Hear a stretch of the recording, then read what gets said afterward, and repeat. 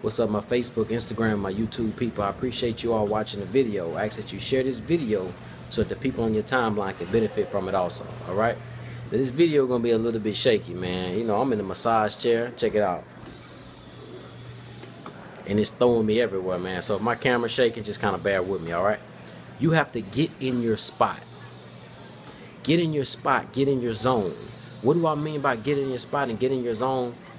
Have you ever watched a basketball game? And some people were just going cold. All right. Let's say somebody shoots four three pointers and they miss all of them. Well, they will be pronounced as cold. They will probably sit on the bench and they probably put in somebody else, right? But once that person comes back in the game and they hit about two shots in a row, the other team will then start scratching their head, making adjustments like, okay, he's getting hot. He, he, he found his zone. You know what I mean? He's trouble. You know, maybe we should run a double team on him. You know, he's warming. Bam, he makes another shot. So this man has found his zone. What is your zone? What are you the most productive at? All right. Basically, what I'm telling you is, if you going to the club every night, man, getting pissy drunk, coming home, tripping all over your shoestrings, you know, oversleeping work the next morning. I mean, if you if you are literally going cold in life, where nothing's working out, maybe it's time for you to try something different. Maybe you need to incorporate something different in your daily routine. Maybe you need to go take a walk through the park. Maybe you need to sit in the library and read a book.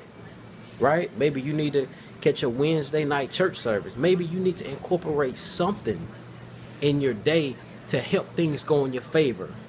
Maybe incorporate one or two things to help you make a couple of shots. All right? Don't just go 0 for 27 during your whole week. You know, if you ice cold, you ice cold, man. I mean, but let's change that. All right? You have to learn how to change things. You're not a stop sign, you're not a street light. None of those things can move. You are a human being. You can move around. You can change things, right? You can be in this building one day and in that building the next. You can do whatever you want to do. All right? A lot of people are going cold, man. Get in your zone. Wherever you're the most productive at, find that zone and get there every day. If you're the most productive uh, when you play uh, reggae music or jazz music, you know, put that in. Get get your homework done. Get your studying done. Get your writing done. Whatever it is that you have to do, wherever you are the most productive, you need to find that sweet spot, find that zone.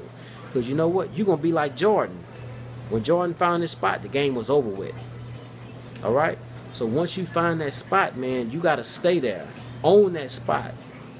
All right? So that you can be the best at whatever it is that you do. But if you're constantly missing shots, call a timeout. Put your hands together just just like what's up, man? Put your put your hands together just like a referee. Go to the sideline, regroup, and come back stronger for next game, all right? I appreciate you watching, man. Call the timeout and let's find your zone, all right? Add me as a friend. I'll talk to y'all later. I love y'all. What's up, bro?